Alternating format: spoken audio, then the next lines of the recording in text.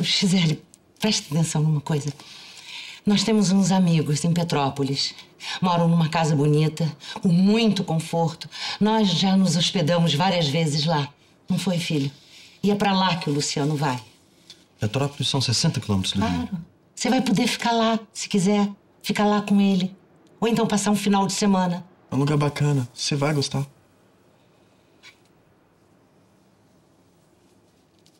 Tudo bem, mãe. Mas eu também quero ir. Assim como eu tô. Não, não vou poder dançar mesmo.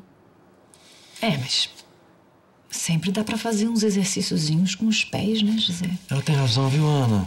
Ela vai ter que ficar de molho mesmo, 10 dias, uma semana. Não custa nada passar uns dias em Petrópolis. Tá, então sobre esse assunto a gente conversa mais tarde, tá bom? Mais tarde você vai dizer que não dá, que isso, que aquilo. Ai, Gisele, pelo amor de Deus, filha. Você tá parecendo uma criancinha de 10 anos de idade. Mãe, eu conheço você. Vem, Luciano.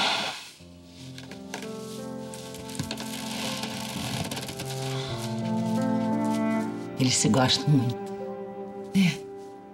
E a gente sabe o que é um primeiro amor. Muitas vezes não é o grande amor da nossa vida, muitas vezes não é o que vinga. Mas com certeza é dele que a gente se lembra a vida inteira. É verdade. Vejam, eu, eu vivo cercada de seguranças, protegida o tempo todo. Mas não posso, eu acho que eu não devo, fazer a mesma coisa com meu filho. Ele tem que tomar cuidado, sim, claro. Ele é o alvo mais próximo de mim. Mas ele tem que ser livre. Ele tem que. Ele tem que viver sem esse medo paralisante que toma conta de todos nós. Por isso eu.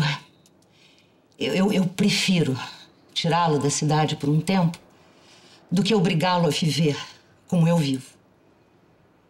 Senão, daqui a pouco ele vai ter que aprender.